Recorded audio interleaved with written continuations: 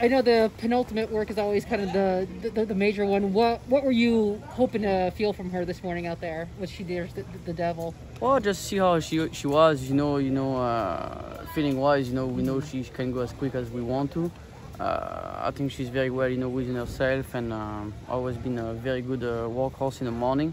So very pleased, you know, how she moves, and uh, fitness level, you know, look like we are right, you know, where we need to be, and. Um, I'm excited for the race, and like I said, you know, she had a race already already uh, at Del Mar this year, which mm-hmm. I think is uh, extremely important. Uh, we'll see how she does, but uh, I think we're coming in into the race know, with a big chance, and obviously uh, we have to beat Letruska, but we beat her once already, so it could be done. It's going to be extremely difficult, but uh, it's possible.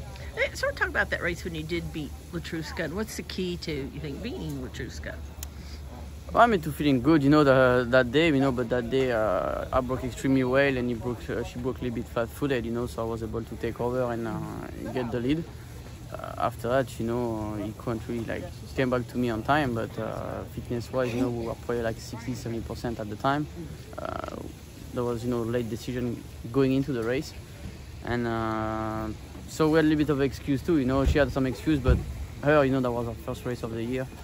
Uh, but I think that was probably the key, you know, was definitely being in front of her, you know, right from the beginning. So now I think they learned from that mistake too. So now they always try to keep her, you know, for sure ahead of everyone. But we'll see how she goes, you know. Uh, we are a little bit like a lighter campaign than her, so hopefully it, it will pay off, you know. But uh, so far it's 1-1, you know, this year. I'm excited, you know. Uh, we'll see what's going on. And there's also some new shooter in the race it seems like a lot of people are kind of already handing the divisional trophy over to to Letruska before this, this stuff is even run. Do you take a little bit of a issue, so to speak, with that? no, I think so far, you know, she she's the most accomplished filly uh, mm-hmm. this year by far. That's not even a, a discussion. Mm-hmm. But uh, most of the time, those those uh, those championships, you know, uh, you win them at the fall, you know, especially right after Breeders' Cup. I think Breeders' Cup is a big part of it and uh, she does a double also has three grade one this year so if she wins one more she will have four and I don't see why not you know uh, she couldn't get the division if of course she, she ended up winning the, the Distaff and beating Letruska. How does she compare with last year Shedaresthedevil? Uh, more mature, you know, she's four years old now, uh, more racing experience and just uh, uh, mentally and physically she's stronger than she was last year. I think that was the best thing happened for her last year. You know, uh, pull her away. You know, uh, right after the spinster and give her a little break, uh, give her time. You know, to fresh up, and it pays off. You know, most of the time when you do these kind of things, you get rewarded. You know, by by the horse. Del Mar was really good to you last time the Breeders' Cup was there with Gun Runner. Um, what's the key to um, Del Mar's? I guess it's the shortest stretch of any of the current Breeders' Cup venues and, and how does that come into play, you think, with Shedaresthedevil? Well, I think Del Mar, I think especially on dirt is, I would say, if you have tactical speed, it's probably a little bit, you know, uh, better than other tracks. But uh, the key to success is very simple. You just need to have, the right horse. But coming back to your question, you know, tactical speed is important, you know.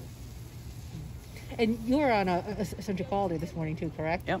How did he kind of feel for, for you?